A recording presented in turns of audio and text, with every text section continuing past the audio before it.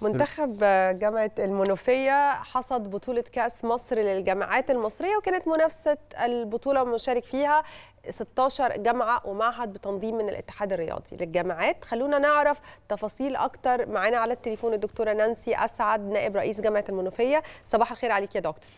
صباح الخير على حضراتكم وعلى كل المشاهدين.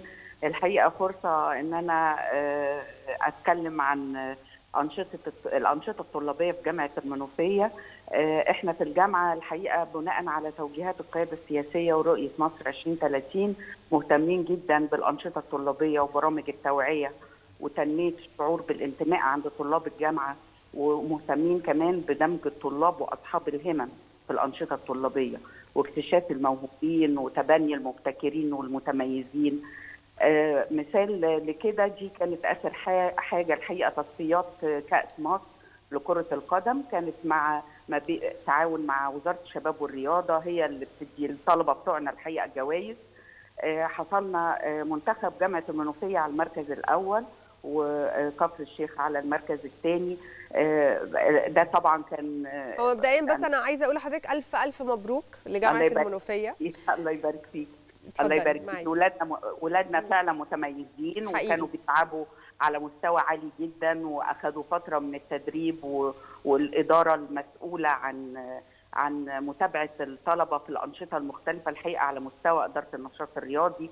وكمان التيم التدريب ده ده الحقيقة هم على مستوى وكان نتاجهم من الطلبة برضو على نفس المستوى. كلهم كانوا بيشتغلوا بمنتهى الإخلاص وزارة الشباب والرياضة هي اللي بتدي الجوائز. عندنا جائزه المركز الأول 50000 جنيه للطلبة والمركز الثاني كفر الشيخ 40000 جنيه. الحقيقة كل الشكر ليهم وال, وال والنظام الجديد. إحنا يعني الفترات الأخيرة هي اللي بنشوف فيها الحراك الجميل ده. كانت المسابقة كمان باستضافة جامعة اسكندرية على ملاعب جامعة اسكندرية. برضو كل الشكر والتقدير ليها. طبعا بنقل تحيات معالي رئيس الجامعة الدكتور عادل مبارك وكلنا على نفس الخط مهتمين جدا بالأنشطة الطلابية. عظيم، دكتورة نانسي إزاي تم اختيار المدربين وفي نفس الوقت برضو إزاي تم اختيار الطلبة اللي شاركت في هذه المسابقة؟ حضرتك المدربين بالنسبة لجامعة المنوفية إحنا اختيار للمتميزين منهم بيبقوا ليهم بطولات سابقة ومتعاونين معانا في الجامعة. الطلبة إحنا بنعلن على مستوى الكليات م. 23 كلية ومعهد عن بداية المسابقة. وبنختار منتخب بعد مسابقات داخلية الأول. بيبقى في مسابقات داخلية بنختار المنتخب والمنتخب ده بيبقى في فترة تدريب طويلة مع مدربين محترفين الحقيقة. مم. يعني بس ده معناه إنه الفريق بيبقى من كل السنوات. آه, آه. كل السنوات وكل الكليات كان معانا طلبة من حاسبات طلبة من تربية نوعية طلبة من تربية رياضية الفريق طبعا متنوع مم. وهل يعني وهل ده بيبقى بقى التدريبات دي بتبقى موجودة طول السنة ولا في شهور معينة طول السنة على مستوى كل كل الأنشطة وال والانشطه المتاحة إنما م. بالنسبة لكل مسابقة بتبقى قبلها بفترة. يعني طيب. بيبقى في خطة زمنية متناسبة مع نوع ال نوع ال النشاط يعني طيب دكتورة نانسي هل النشاط في هذه المسابقة كان كرة قدم فقط مش كده؟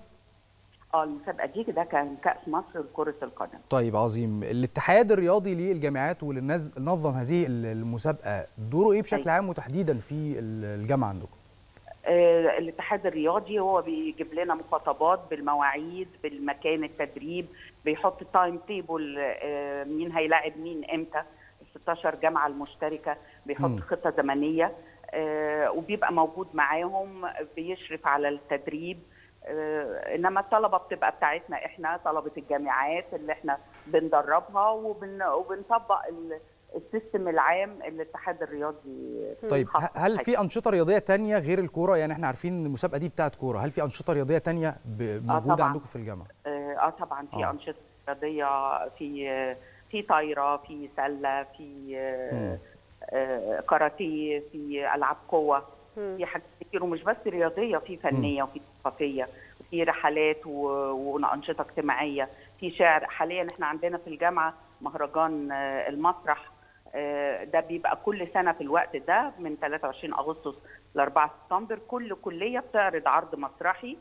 طبعا بيبقى عدين له في إعدادات بقى لهم أشهر طويلة وفي محكمين على مستوى. بيشوفوا كل العروض وبيبقى في جوائز للعروض المتميزة وأحسن ممثل وأحسن ممثلة وأحسن مخرج. عظيم. وده بيبقى احتفال كبير في الآخر بحضور رئيس الجامعة وبندي جوائز للفريق السابق. الحقيقة إحنا عندنا أنشطة على مستوى الجامعات جوه الجامعة. وأنشطة ثانية بتبقى قمية ما بين الجامعات وبعضها. طيب دكتور نانسي أنا بس حابة أتكلم عن اللي جوه الجامعة الأول قبل ما نروح للجامعات الثانية هل الأنشطة الرياضية دي بتاخد وإحنا بنشجع أكيد الشباب إن هم يعملوا ده لكن بتاخد وقت شوية من وقتهم الدراسي. هل بيكون في مراعاة لده في في مثلا المحاضرات بتاعتهم؟ أو في درجات زيادة مثلا بتبقى بياخدوها كمان؟ يعني عرفينا إزاي الموضوع ده بيمشي. لا بالنسبة للدرجات لا طبعا م. الدرجات دي خط أحمر ما ما في فيها أي أي بايز لأي حد عن حد دي مد... هي هي تقصد كتفوق رياضي يعني تفوق رياضي يا فندم. برضو ده مش متاح عندنا الحقيقة. م. ويعني كنظام عام يعني حتى الثانوية العامه الفترة الأخيرة درجات التفوق الرياضي دي ما بقتش موجودة الحقيقة طب بي بي بيوازنوا إزاي ما بين وقت التمرين ووقت الدراسة؟ بنحاول التدريبات تكون بعد الظهر إنما م. وقت المسابقات الفعلية بناخد سماح من الكلية ب باستئذان بالغياب بتبقى فترة قصيرة والحقيقة كليات بتشجع يعني. والطلبة اللي شاطر في الرياضة بيبقى شاطر في كل طبعا حاجة. طبعا أكيد أكيد. إحنا بنشجع كمان الطلبة إحنا طيب دكتورة نانسي أنتوا هتحتفلوا بيهم إزاي في الجامعة؟ أنتوا بقى الجامعة نفسها هتحتفل بيهم إزاي؟ بيجوا لنا اللي هم اخذوا الفريق الأول اللي. اخذ طبعا اللي بنقعد معاهم ندي لهم جوائز ثانية طبعا مش زي جوائز وزارة الشباب والرياضة ما اختلفناش بس في نوع من الدعم والتشجيع حتى عشان نشجع باقي الطلبة. ده أكيد طبعا م. ده أكيد. إحنا عندنا في كل المجالات الحقيقة في متميزين وفعلا ولادنا شباب بكرة بيحتاجوا كل كل دعم وكل مساندة. ده حقيقي. فطبعا يعني طبعا هم يستحقوا كل تقدير. هم والقائمين على التدريب والإدارة المسؤولة. الحقيقة إحنا عندنا كتيبة عمل. إدارة رعاية الطلاب على مستوى الجامعة والكليات إدارة كبيرة جدا ومسؤولة والحقيقة ده نتيجة شغلها. عظيم.